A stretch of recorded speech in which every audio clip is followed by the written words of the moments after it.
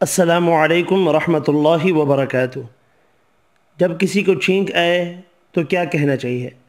سیدنا ابو حریر رضی اللہ تعالی عنہ سے روایت ہے کہ نبی کریم صلی اللہ علیہ وآلہ وسلم نے فرمایا، جب تم میں سے کسی کو چھینک آئے تو وہ الحمدللہ الحمدللہ کہے۔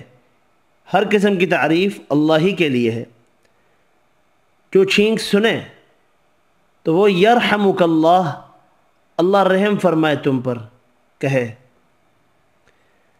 جب یرحمک اللہ کہہ دیا تو چھینکنے والا آدمی پھر کہے، یہدیکم اللہ ویصلح بالکم، یہدیکم اللہ ویصلح بالکم۔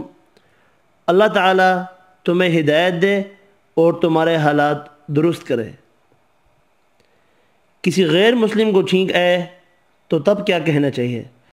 سیدنا ابو موسیٰ رضی اللہ تعالی عنہ سے روایت ہے کہ یہودی رسول کریم صلی اللہ علیہ وآلہ وسلم کے پاس چھینکتے اور وہ امید رکھتے کہ آپ صلی اللہ علیہ وآلہ وسلم ان کو یرحمک اللہ کہیں گے، مگر رسول صلی اللہ علیہ وآلہ وسلم یہدیکم اللہ ویصلح بالکم فرماتے یعنی اللہ تعالیٰ تمہیں ہدایت دے اور تمہارے حالات درست کرے۔